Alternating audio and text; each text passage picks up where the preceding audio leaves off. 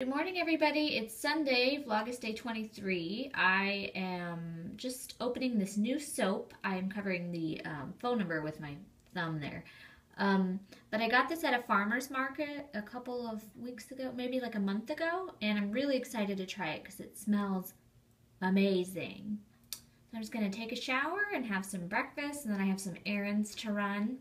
For, for breakfast, I'm going to have some waffles the Eggo Homestyle waffles with some apple butter syrup, I think. So I think I still have it. Yeah, probably use up the last of this apple butter syrup from Colonial Williamsburg. It's pretty good.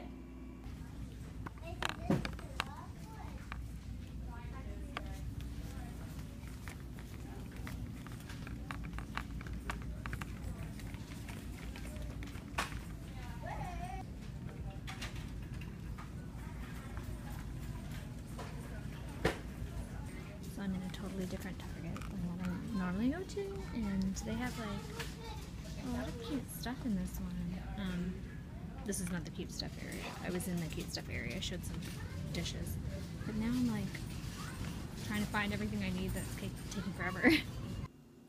okay, I'm done running errands for the day. Um, I went to H&M really quick just to pick up a couple of bras. I bought a bunch of them years ago from there, and they still make very similar styles, and I just really like them. And they're really they last a really long time if you take care of them, and they're really inexpensive too. So it's like a win, win, win, win, um, all around. And then I stopped in Target. I was in a different Target. I think I explained that in a clip because I had, was coming from the mall. But um, I picked up some Tic Tacs, which I haven't had in forever, but it just sounded good. Uh, last minute sucker kind of thing. And then um, some toothpaste I'm almost out. Some Airborne because I realized I didn't have any more. It's basically just vitamin C.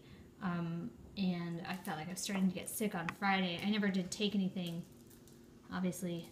So I don't know if I'll take it now at this point, but it's good to have for next time. I feel like if you take something right when you feel like you're maybe starting to get sick, it seems to help. I don't know. Um, and then some Neosporin because the tube I have is long since expired. They really don't give these a long time though. Like this expires in that's like less than a year and a half. So I don't I don't know. I, I don't know if it's really bad at that point, but anyway, and then I just have um, picked up some stuff at Harris Teeter really quickly because I wanted to make a caprese salad for lunch from the tomatoes I picked yesterday.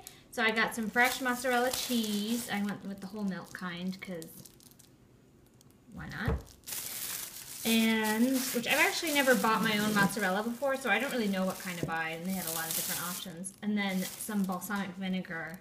I had no idea what to get in this case, and they had like 80 options. I'm not kidding. They had so much balsamic vinegar. Like, I could have stood there all day and to try figure it out. I don't know. I just went with one that was kind of middle of the road, and I wanted a glass bottle.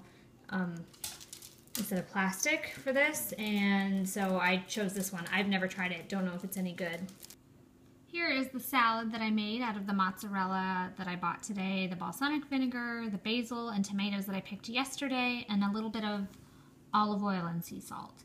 Um, the mozzarella that I bought is not quite what I expected. It's not the super, super wet kind um, I thought that it might be, but I think it'll still be really, really good and I'm excited.